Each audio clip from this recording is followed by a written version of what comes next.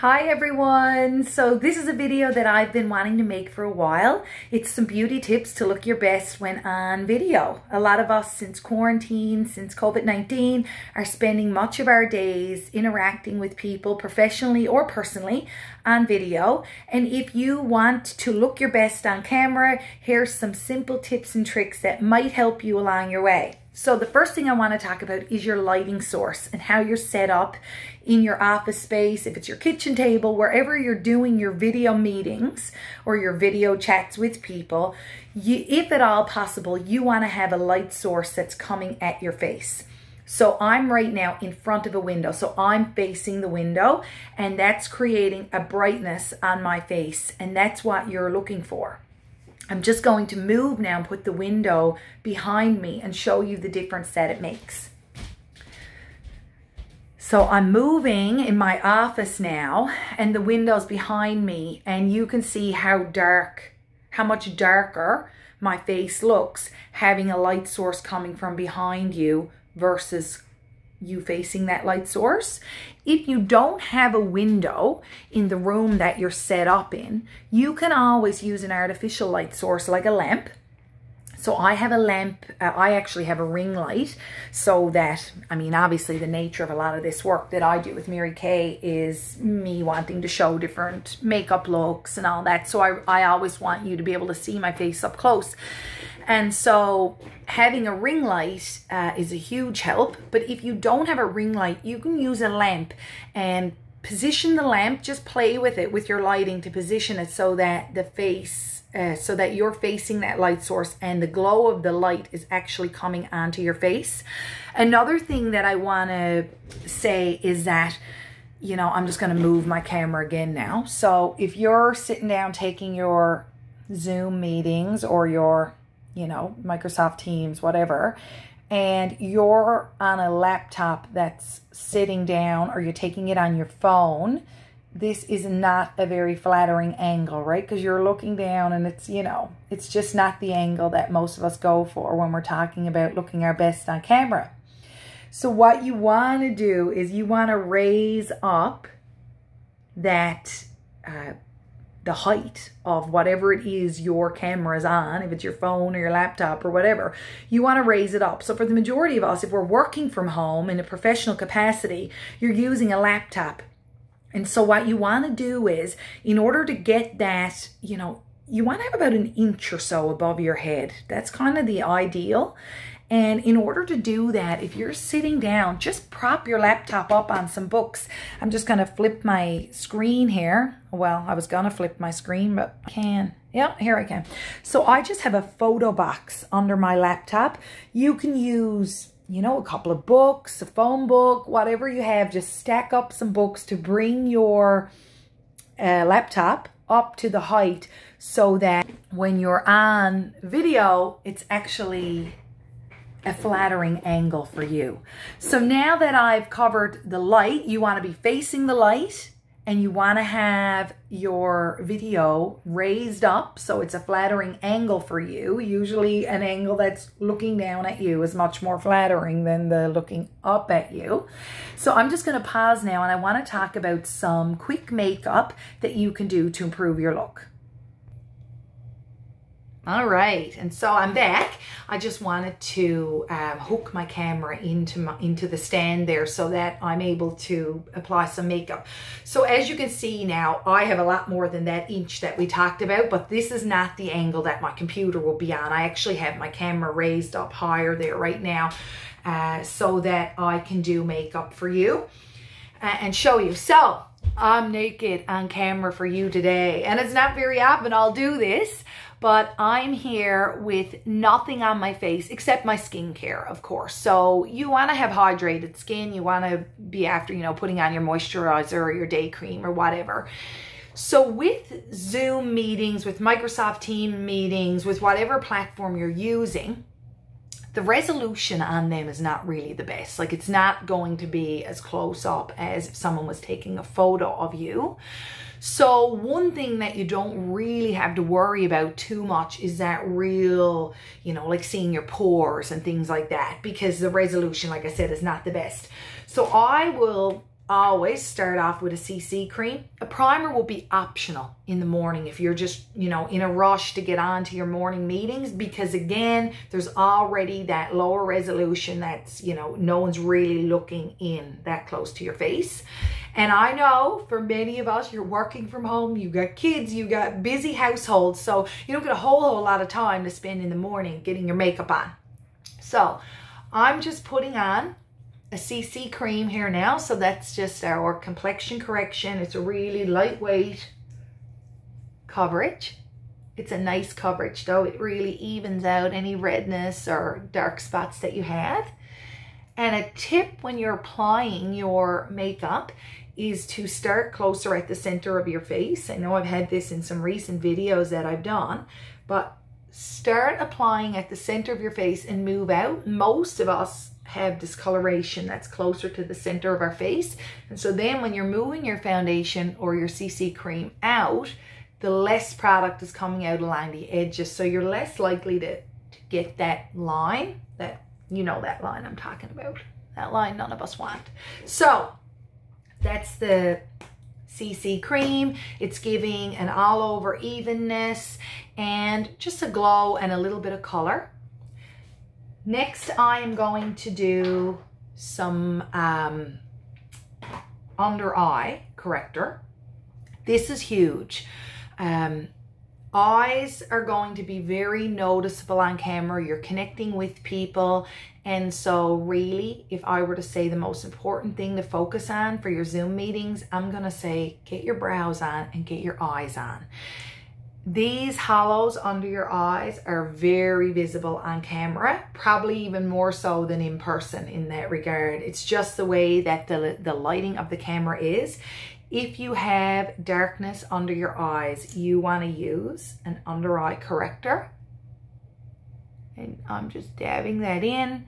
And this under eye corrector is, you know, a peach tone it's for all skin types and the peach really is there to neutralize darkness.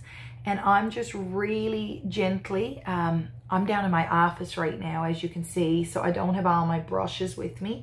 But I would just, you know, you can use your finger for this or you can use a concealer brush to buff this out. But your finger does the trick too. So that's an under eye corrector if you want to just get that darkness and you want to brighten it up. Another trick that I love to do, especially on camera, is to go in with a concealer. And this is a shade lighter than what I would normally use. Actually, this is a couple of shades lighter. This is a light ivory and a couple of little dabs in the corner and in the outer corner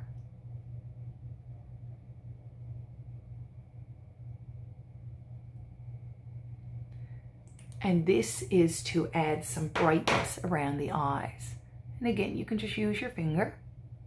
So notice that I never went right in under with this concealer because concealer is a little bit of a thicker texture and I don't want it picking up those little creases that are directly below the eye. So I just kind of let the under eye corrector do its work there. And just look at the difference. Just that alone, like this is not even any eye makeup and the brightness that this is bringing to your eyes.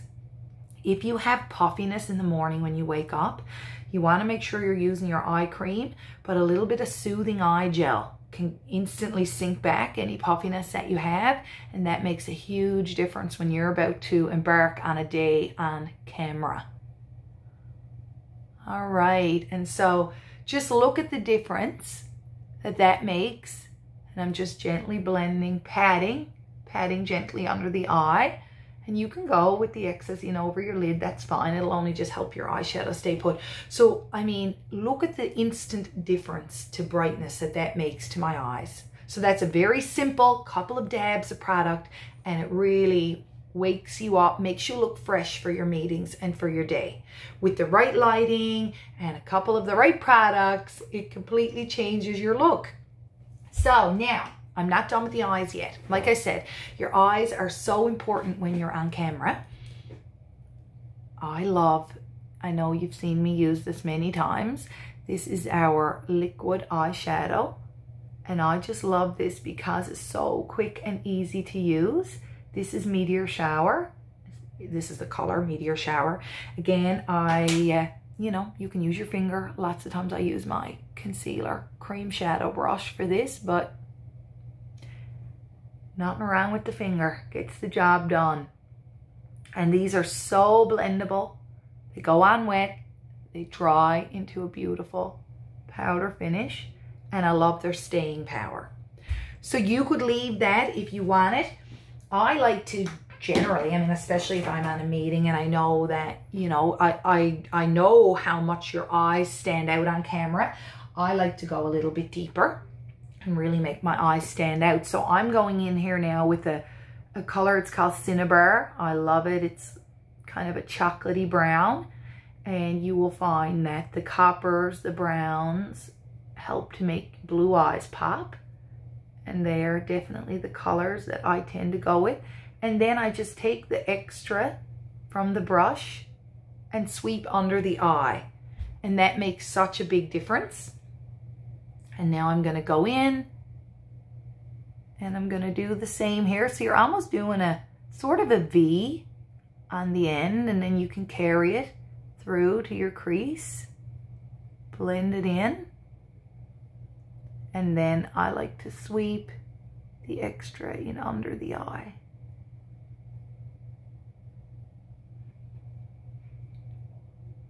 So that's really two shadows that I used to just make the eyes stand out like this. And now, if you got some extra, like, I mean, right here, it's like, could be cleaned up a little bit. You can use your finger to do that. You can take your bigger, uh, like a blending brush and do it. I mean, very gently. And there you have it. So that's eyes. I always use an eyeliner and a mascara. If you're going to be wearing your glasses all day, your glasses are going to be picking up some reflection. I always recommend, if, if you're wearing your glasses, you don't have to be too worried about eye shadow per se, but I will get on some eyeliner and some mascara to make your eyes stand out behind your glasses lens. Now, my eyeliner is our waterproof liquid pen, just like a Sharpie. And here I go. You're, I'm usually tight lining this and tight lining means that you're just getting as close to your lash line as possible.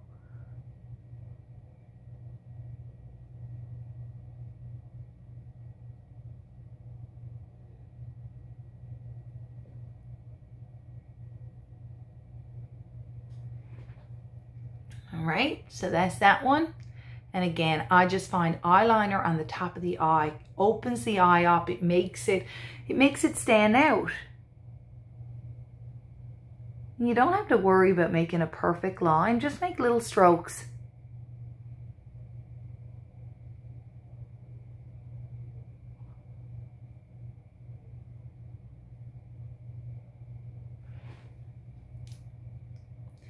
That's the eyeliner. And then I'm going to go in with a mascara just to completely make my eyes pop on camera. So I'm using our Fanorama mascara right now. If you're spending the day on video, you want a nice bold mascara. You can use any mascara. I love, this is a limited edition for us. It has volume and it has lengthening if you like to curl your eyelashes, I don't generally do it in the morning, um, just for a work day. Love to do it if I'm going out. But if you like to curl your lashes, this is a great time to do it. Just because it makes them all the more noticeable when you're on camera.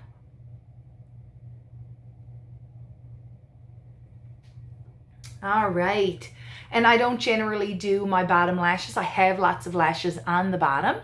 Um, but for camera, I find this just really makes my eyes stand out. Just those few products. Now, brows. Brows make a big difference. If you're going spending a day on camera, take the time to do your brows. So uh, I'm just going to blend that another little bit there. It's different doing this in the camera than in a mirror, in my phone than in the mirror. But All right, so for a brow,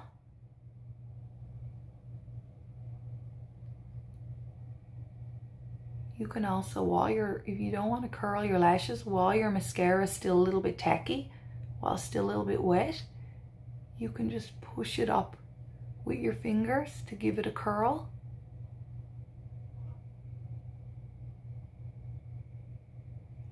There.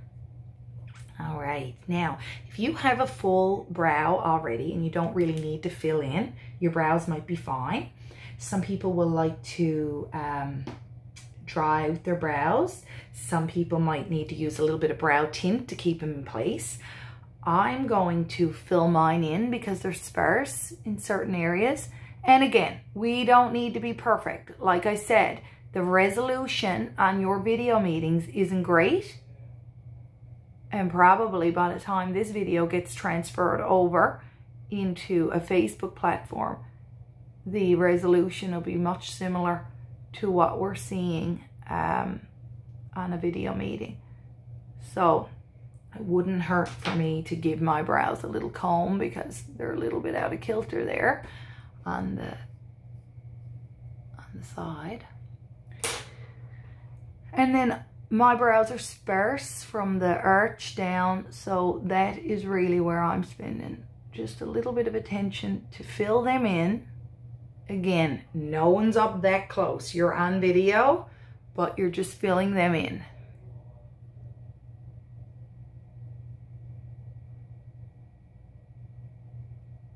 And thinnest right here. So that's really the part that I want to just make sure that if I turn sideways on my video, you can see the other end of my brow. All right. So now I got my eyes done. I don't have, I only have CC on my face so far.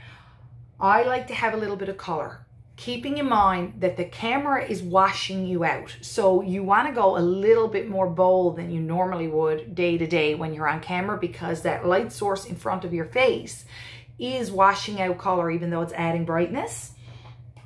I'm going to add some bronzer. Uh, and a cheek color goes a long, long way. So this is just a bronzing powder. I'm using it to define my cheekbone.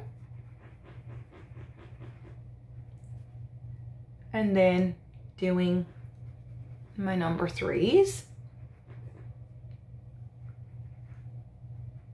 and down the nose. Some people will say do a W for that part of your face. And this gives a nice sun-kissed glow. Makes such a big difference. Just a little bit of bronzing powder. And I'm going to add a little pink to my cheeks. And again, if you were to look at me in person now, this would look bolder than it's looking on camera. But I want to have, like I said, the, the light source in your face tends to wash you out. So you're going a little bit more bold for the camera to make it noticeable. So when you're applying it in the morning, apply it a little bit heavier. Because when you turn your camera on, it's not going to look heavy. So I'm starting to become a new woman. I would have to work on my hair now if I was uh, going to work, but working on the face. And then the final thing is your lips. Now, I don't know if you like to wear a bold color or not, but a, a bolder, colorful lipstick on camera really makes you shine. It makes your face stand out. And today I'm going to use, I got a brought down a couple, but I think I'm going to put on Powerful Pink. And here we go. This is like my summer red. I love it. Even though it's not red. But it's a beautiful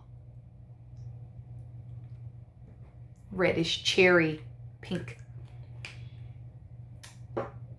Now, if you just like to wear a gloss, that's fine. But put something on your lips to make your lips stand out. Um, I could easily put a glass over top of this now to give it some extra shine. But what a difference this makes from the naked lady who stepped on to now with, you know, open eyes, some color in the cheeks, some color on the lips. It's just so much more I don't know. If you wanna, if you wanna enhance your look while you're on camera, these are some tips for you. Now, my final thing, now that everything is done, I wanna talk about translucent powder. Translucent powder is your best friend when you're on camera. And I'm just gonna put some on. So it's a, it's a white, it's a clear, translucent powder. It looks white. And what this does is I compare translucent powder to mini disco balls. So the translucent part, it illuminates your face. It doesn't add shine, because shiny is not what we want. This actually cuts back on shine and creates glow. So mini disco balls and concentrate to the center of your face. And it just creates an overall beautiful glow that works very nicely with the light source in front of you and the camera. And there you have it, some beauty tips to look your best while on video. I hope that you have enjoyed this. If you have any questions about any of the products that I used, I would love to uh, have you have you ask them in the comments or shoot me a message. Have a great day. Thank you.